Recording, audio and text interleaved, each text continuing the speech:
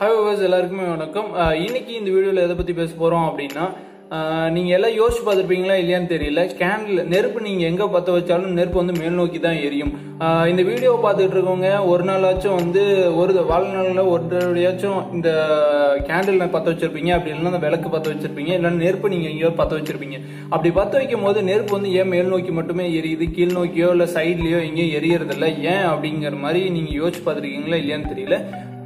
அதுக்கான காரணம். எனக்குள்ள அந்த யோ- கேள்வி இருந்துச்சு. ஸோ அந்த கேள்விக்கான பதிலை நான் தேடி அந்த பதிலை தான் உங்ககிட்ட சொல்ல போகிறேன் ஏன் இந்த விளக்கு வந்து இதில் மேல் நோக்கியே எரியுது? இந்த நெருப்புங்கிறது வந்து மேல் நோக்கி எரியுது அப்படிங்கிற நான் உங்ககிட்ட சொல்கிறதுக்கு முன்னாடி இதுக்கான காரணம் என்ன அப்படின்னா டென்சிட்டி டிஃப்ரென்ஸ் தான். இப்போ டென்சிட்டி டிஃப்ரென்ஸ் தான் வந்து இதுக்கான மிகப்பெரிய காரணம். டென்சிட்டி டிஃப்ரென்ஸ்னா என்னன்னு சொல்றதுக்கு டீட்டெயிலாக சொன்னால் கொஞ்சம் குழப்பமா இருக்கும். ஸோ நான் வெயிட் அப்படிங்கிறது வந்து நம்ம எடுத்துக்கலாம்.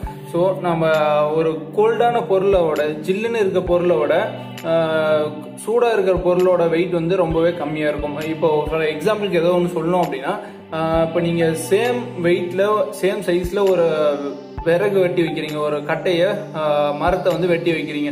ஸோ ஒரு மரத்தை வந்து வீட்லேயும் இன்னொரு மரத்தை வந்து வெயில்லையும் வைக்கிறீங்க. வெயிலில் வந்து ஒரு ரெண்டு நாள் காய வைக்கிறீங்க ரெண்டு நாளுக்கு அப்புறம் அந்த ரெண்டு விறகையும் கொண்டு போய் வெயிட் மிஷினில் வச்சு பார்த்தீங்க அப்படின்னா ரெண்டு நாளுக்கு அப்புறம் இந்த வெயிலில் வச்ச மரத்தோட வெயிட் வந்து கொஞ்சமாச்சும் குறைஞ்சிருக்கும். ஏன் அப்படின்னா அந்த வெய் வெயில் அந்த மரத்துல இருந்த வாட்டர் பேப்பர்லாம் வந்து இதாக இருக்கும் ஸோ அதோட வெயிட் வந்து கம்மியாக இருக்கும் ஸோ அதே கான்செப்ட் தான் வந்து இங்கேயும் ஒர்க் அவுட் ஆகுது என்ன அப்படின்னா இப்போ ஒரு எந்த ஒரு நெருப்பு எரியணும் அப்படின்னாலும் அங்க வந்து பக்கத்துல ஏர் இருந்தால் மட்டும்தான் எரியும். நீங்க சின்ன வயசுல நீங்க ஒரு புக்ல எல்லாம் கதையை படிச்சிருப்பீங்க. ஃபர்ஸ்ட் வந்து ஒரு கேண்டில் வச்சிருந்திருப்பாங்க. அந்த கேண்டில் லைட் நல்லா எரிஞ்சுக்கிட்டு இருக்கும். அதுக்கப்புறமேட்டு பக்கத்துல ஒரு கிளாஸ் டம்ளர் க்ளோஸ் பண்ற மாதிரி பக்கத்துல கொண்டு போயிட்டு இருப்பாங்க. அப்பயும் எரியும். அதை க்ளோஸ் பண்ணதுக்கு அப்புறமேட்டு அது வந்து எரியாது. ஏன் அப்படின்னா அந்த பொருள் அந்த நெருப்பு எரியணும் அப்படின்னா அந்த பக்கத்துல வந்து ஏதாவது ஒரு ஏர் இருக்கணும். ஆக்சிஜன் இருந்துச்சுன்னா மட்டும்தான் அந்த நெருப்பு அங்கே எரியும். ஸோ அந்த கான்செப்ட் படி இங்கே வந்து நெருப்பு எரியணும் அப்படின்னா பக்கத்தில் வந்து ஏர் போனால் மட்டும்தான் அது வந்து எரியும். இப்போ நெருப்பு எரியும் போது கோல்டான பக்கத்தில் வந்து நம்ம பற்ற வைக்கிறதுக்கு முன்னாடி இந்த வந்து பக்கத்தில் இருக்க ஏர் எல்லாமே வந்து சேம் டெம்பரேச்சரில் இருக்கும். கோல்டாகவும் நம்ம சூடாகவும் எல்லாமே பக்கத்தில் இருக்க சரௌண்டிங்கில் இருக்கிறது வந்து எல்லாமே ஒரே டெம்பரேச்சர் செல்சியஸில் இருக்கும்.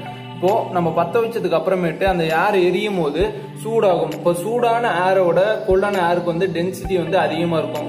கம்மியாக இருக்கும். இப்போ சூடான ஏர் டென்சிட்டி கம்மியாக இருக்கிறதுனால அது என்ன பண்ணும் அப்படின்னா அது மேல் நோக்கி போகும். மேல் நோக்கி போகும்போது அந்த சூடான ஏர் மேல் போனோன்னா பக்கத்தில் இருக்க கோல்டான ஏர்லாம் வந்து இந்த வே- நெருப்பு பக்கத்தில் அந்த நெருப்பு பற்ற வச்ச இடத்துக்கு பக்கத்தில் வந்து பக்கத்தில் வந்துக்கிட்டே இருக்கும். ஸோ அதனால தான் கீழே இருக்க போர்ஷன் வந்து அதோட திக்னஸ் வந்து அடர்த்தி வந்து அதிகமாகவும் மேலே போக போக வந்து குறைஞ்சிக்கிட்டே போகுது.